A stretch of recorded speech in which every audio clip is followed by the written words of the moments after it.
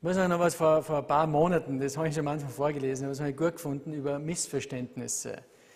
Und auch bei Fremdbestimmung und Selbstbestimmung gibt es so Missverständnisse. Aber es ist eine Geschichte, die heißt Tippfehler, vielleicht hast du es schon gelesen. Aber ein Ehepaar beschließt, im kalten Winter für eine Woche zu entfliehen und in die Südsee zu reisen. Aus beruflichen Gründen kann die Frau erst einen Tag später nachfliegen. Der Ehemann fliegt wie geplant.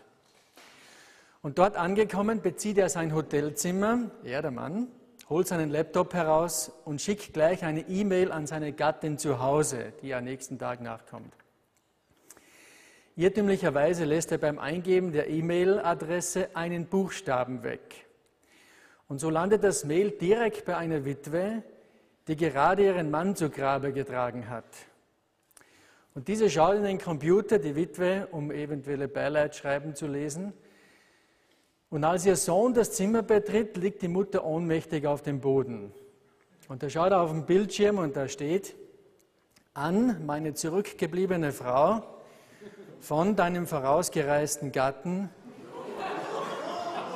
Be betreff bin angekommen. Dann schreibt er, meine Liebste, ich bin soeben gut angekommen, ich habe mich hier bereits gut eingelebt und sehe, dass alles für deine Ankunft morgen schon vorbereitet ist. Ich wünsche dir eine gute Reise und erwarte dich Liebe dein Mann. Und dann schreibt er noch PS, es ist extrem heiß hier herunten.